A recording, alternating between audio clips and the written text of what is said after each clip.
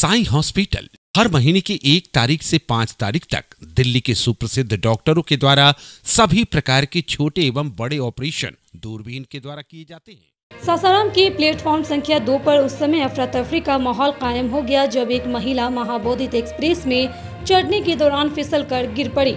महिला के गिरने के साथ ही ट्रेन आगे बढ़ने लगी, इसके बाद लोगों के मन में एक ही प्रश्न उठ रहा था कि आखिर कैसे महिला को बचाया जाए। किसी तरह से वहाँ के लोगों के द्वारा महिला को सुरक्षित बचा लिया गया।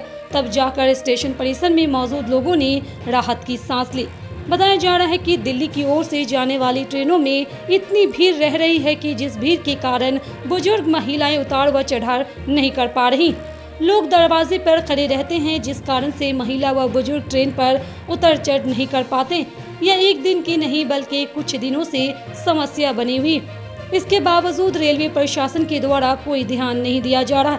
आलम यह है कि गुरुवार को सासाराम स्टेशन पर एक बहुत बड़ी घटना सामने आ सकती थी। सूत्रों की माने तो स्टेशन पर बुज़ुर्ग यात्रियों को चढ़ाने व उतारने की कोई व्यवस्था नहीं होने के कारण उन्हें अपने बल पर ट्रेन के अंदर सवार होना पड़ता है। अगर लोगों के द्वारा गुरुवार को सासाराम स्टेशन पर खड़ी महाबोधित एक्सप्रेस की चपेट में आने से महिलाओं को नहीं बचाया गया होता तो आज भी एक बहुत बड़ी घटना सामने आ सकती थी। दिल्ली जाना है। कौन से गाड़ी धर रहे थे? महाबोधि क्या स्थिति थी? आप नहीं चढ़ पाई? गेट नहीं छोड़ रहे हैं, बस यही स्थिति है। गेट छोड़ ही नहीं रहे, गिर गए। कोशी हॉस्पिटल, सरकारी अस्पताल के सामने आरा मिल रोड, प्रतापगंज सुपौल।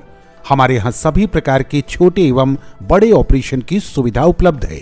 यहाँ 20 बेड की सुविधा के साथ गॉल ब्लेडर स्टोन यानी पित्त की थैली, पथरी का operation बच्चेदानी kidney stone normal delivery caesarean hernia का ऑपरेशन कुशल डॉक्टर के द्वारा किया जाता है। साथ ही यहाँ नवजात शिशु के लिए एनआईसीयू, यानी शीशे में रखने की सुविधा उपलब्ध है। 24 घंटे इमरजेंसी सेवा के साथ अस्पताल से 12 किलोमीटर तक के लिए इमरजेंसी एंबुलेंस की फ्री सुविधा दी जाती है। आज ही संपर्क करें। नंबर है seven five four nine two seven nine four zero nine और nine five four six one five zero seven four six.